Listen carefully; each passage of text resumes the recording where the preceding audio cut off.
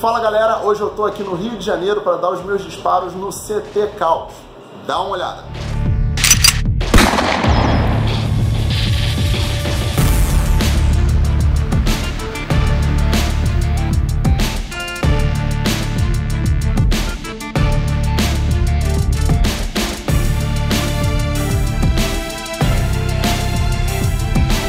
Galera, tá começando mais um vídeo aqui no Papo de Atirador e hoje eu tô voltando aqui num stand no Rio de Janeiro que eu já visitei, já tem vídeo, eu vou botar o card aí para vocês darem uma olhada. Logo depois da época da inauguração, stand espetacular, com uma estrutura excelente, bem localizado, seguro, tudo que a gente precisa para fazer a nossa prática do tiro com tranquilidade. E um grande diferencial daqui, que é uma das coisas que mais cativam, está justamente aqui na minha mão. Ó. Aqui no CT Caos, eles só usam munição original. Então você tem um prazer que eu tive, por exemplo, no Paraguai ou nos Estados Unidos, de treinar com munição original, uma munição que não vai dar pane, que você vai ter a reação real da arma uma eventual defesa, alguma coisa do tipo, munição novinha. Isso é impagável. Então vale muito a pena fazer um treinamento aqui. E eles estão com várias novidades que eu vou mostrar para vocês. O stand está em reforma. No vídeo anterior vocês vão reparar que o stand ele era de grama sintética. Agora eles estão trabalhando com um piso liso, padrão americano. Fica mais fácil para catar os estojos, para caminhar, para fazer treinamentos em movimentação e tudo mais fica espetacular, engrandece muito a qualidade do nosso treinamento. Então agora vamos lá para dentro vou fazer alguns disparos com duas armas especiais, que são das armas mais procuradas aqui. Uma outra vantagem que eles têm aqui, que é muito interessante, é em relação ao acervo. Eles têm várias armas e todo tipo de munição para você que quiser experimentar de repente um calibre diferenciado ou experimentar uma arma que você sempre teve vontade de atirar e que não tem em qualquer lugar.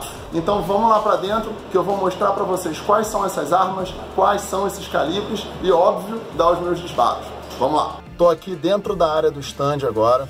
O stand, como já falei para vocês, está sendo reformado, ainda está em andamento, mas já são visíveis as melhorias. A questão do piso, particularmente, espetacular. É um piso uma permite uma caminhada muito melhor, é mais liso, né? Mais estável. Então, para treinamentos de caminhada, fica até mais muito mais funcional. E agora eu vou mostrar para vocês duas armas que são as armas, digamos, queridinhas, os xodós daqui do, do, do stand, o pessoal mais procura, especialmente para um tiro de recreação ou simplesmente para ter um contato com uma arma muito diferenciada, uma arma que é divertida, gostosa, bonita de atirar.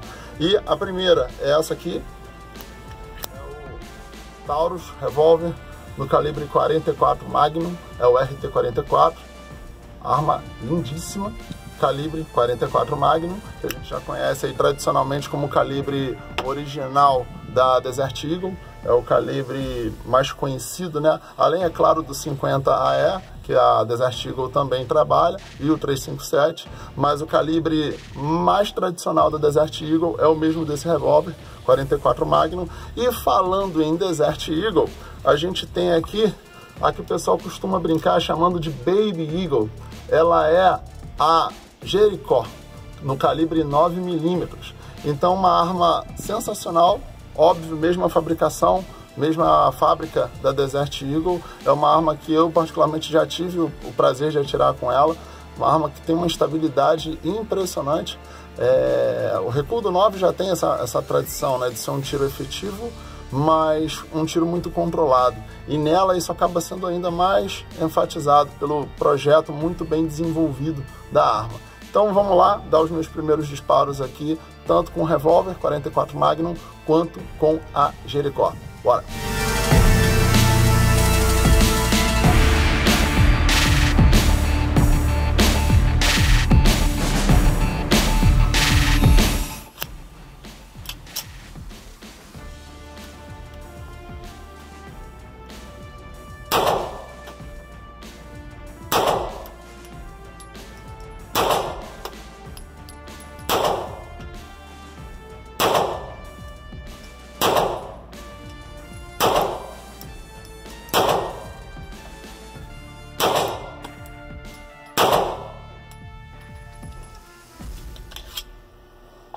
Que arma estável, uma arma extremamente sensacional.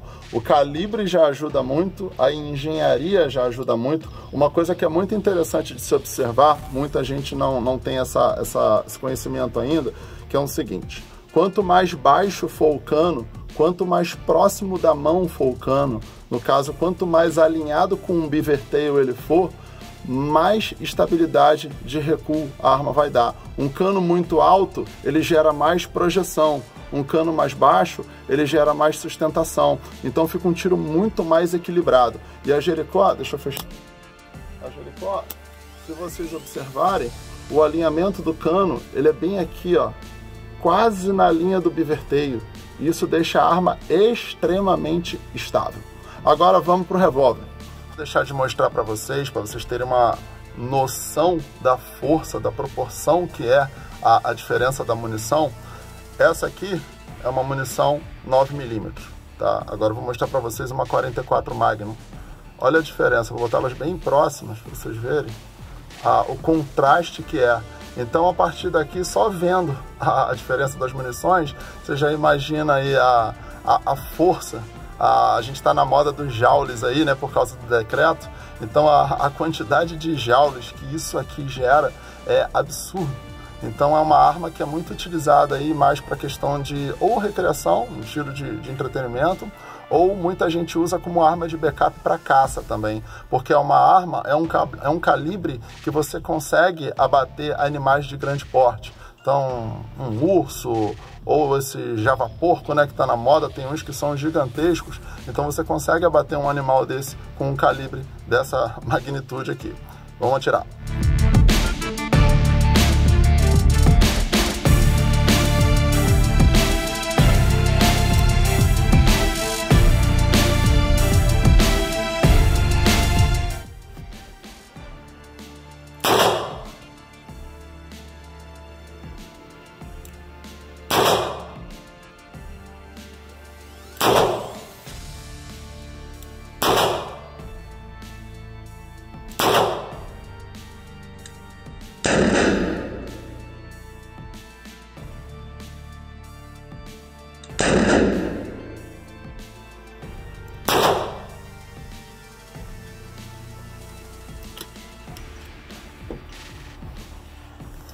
Deu para perceber a porrada que a arma dá?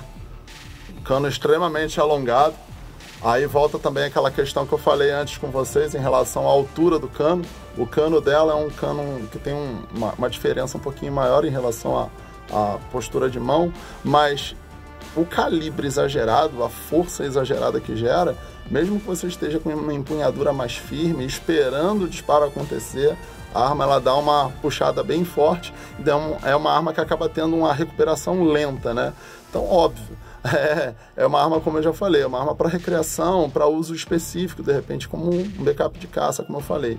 Mas uma arma dessa para defesa, dependendo da situação, como muita gente sonha, eu particularmente eu acho um negócio bem inviável. E fazendo um, um, paralelo entre ela e a Desert Eagle 44 Magnum, é, é interessante a, a, a, diferença de entrega. A, na, na Desert Eagle, como a munição é, ela fica mais encapsulada, tem a questão do, do blowback do ferrolho, entre mais outras coisas, é, acaba tendo uma força de recuo um pouco maior. Pelo menos foi a sensação que eu tive. Mas, de qualquer maneira, é uma arma extremamente deliciosa de tirar. É, é um tiro fantástico. Então, recomendo quem é CAC, ou policiais em geral, que tenham acesso a, a, a clubes de tiro, vem aqui no CT Caos para dar uma experimentada nela, porque é um tiro muito gostoso, vale a pena a experiência. Vamos ver agora a desgraça que eu fiz ali.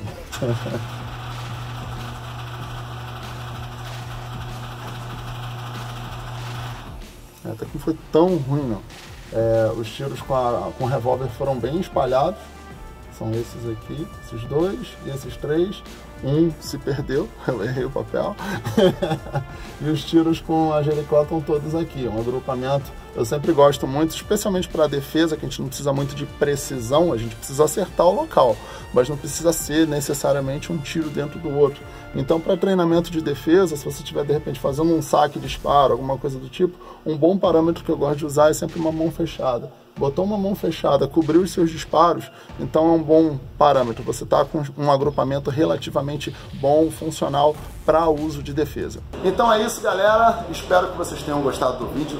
Não esquece, dá aquele like aí, compartilha o vídeo com seus amigos, se inscreve no canal se ainda não for inscrito e a gente se vê no próximo vídeo. Tchau!